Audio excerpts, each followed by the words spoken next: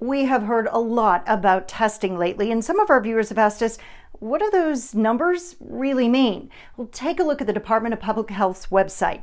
That cumulative number that they always post throughout the day, that represents the total number of test results they have received. That means that as of today, more than 250,000 tests have been completed. Some people, especially those who once tested negative, though, get tested several times. That number may grow more than usual over the next few days. That's because the Department of Public Health was only requiring labs to report positive test results.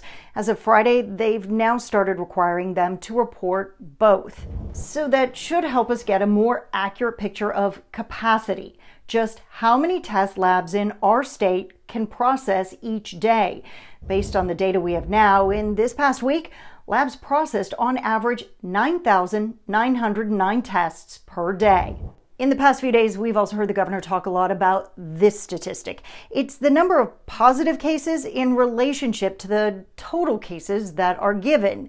It's going down, but that really shouldn't be surprising. In April, when we were only testing the sickest patients, we had about 33,000 test results, so the percentage of positive cases was over 26%.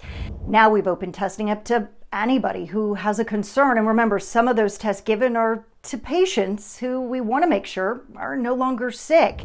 Tonight at 6, I'll show you another way to look at these numbers, perhaps paint a better picture of what's happening in our state. And if you have a question about any of the numbers, the data being presented by the state, please reach out to us.